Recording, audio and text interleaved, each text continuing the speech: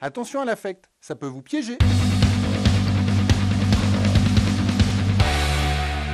Alors, bienvenue dans les post-it de Polychroma. Alors, dans ce post-it, je vais aborder l'émotion lors de la prise de vue et ses dangers.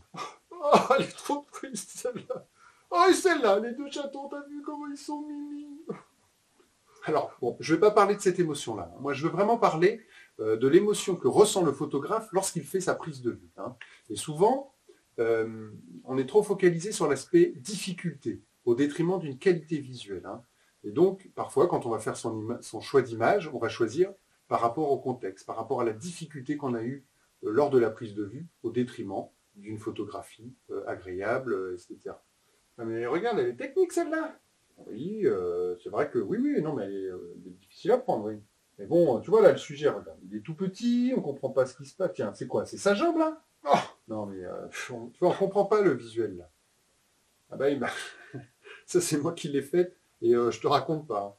Euh, j'ai- J'étais en claquette et j'ai dû marcher euh, sur de la braise pour prendre la photo. Alors je peux te dire que j'allais pas l'acheter. hein. Eh mais eh, ma photo là Qu'est-ce que tu fais là? Ben oui mais Juste, elle avait raté, hein. Bah non, bah, euh, pas mal, celle-là. euh. Enfin, regarde le mouvement, là, un petit recadrage, et puis ce serait pas mal, là. Tiens, bah, d'ailleurs, euh, la semaine prochaine, je parlerai de l'accident et de la création. Donc, si ça vous intéresse, si ça t'intéresse, eh ben, je vous dis à la semaine prochaine.